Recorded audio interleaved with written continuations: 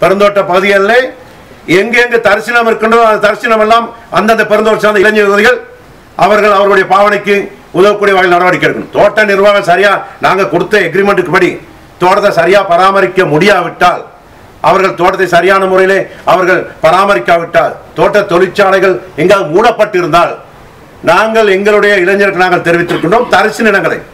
தரிசு நிலங்களில் அவர்கள் மறக்கல் செய்து அவர்கள் விவசாயம் செய்து அவர்கள் வாழ்வாதாரத்தை செயல்படுத்திக் கொள்ள எவ்வித தவறும் கிடையாது. ஆனால் இதனை சில தோட்ட அதிகாரிகள் பிள்ளையாக போலீஸ் நிலையங்களை சொல்லி போலீஸ் நிலையங்களை கொஞ்சம் பேர் வக்காலத்து வாங்குறாங்க. இதைதான் இந்த நாட்டினுடைய ஜனாதிபதி பிரதம மந்திரி அனைவரும் கூறுகின்றார்கள் மேடையிலே.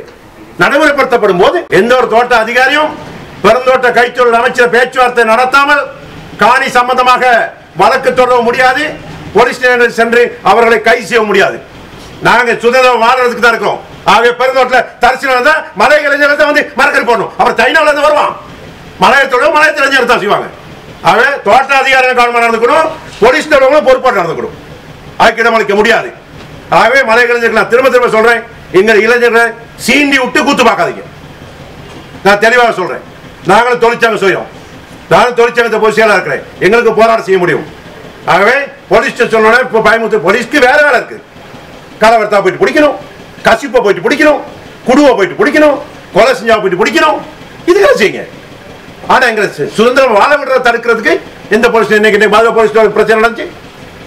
பாத போலீஸ் காலையில் எங்களுடைய நிஜவத்தி இளைஞர்கள் பிரதேச சபை உறுப்பினர் உட்பட போலீஸா கை செய்ய பார்த்தாங்க. நான் பதில் இருந்தது நான் நேரடியாக விஜயம் செய்த காரணமாக அது தடுத்து நிறுத்தப்பட்டிருக்கின்றது. ஆகவே தேவை அனாவசியமான முறையிலே மலையக இளைஞர்களை அசௌகரியங்களுக்கு ஏற்பட்டு தேவைப்பட்டால் சொன்னால் அப்போ நாங்கள் வேற மாதிரி நடக்க வேண்டிய சூழ்நிலை ஏற்படும். நான் எச்சரிக்கிறோம். தோட்ட நிர்வாகத்துக்கு எச்சரிக்கிறேன். மலையத்திற்கு போலீஸ் நிலையங்களுக்கு எச்சரிக்கிறேன். தேவையில்லா பிரச்சனை பத்தி இடமா தூண்டி விட்டாங்கன்னு சொல்லி மிகவும் மரியாதையுடன் கேட்டுக்கொள்கின்றேன்.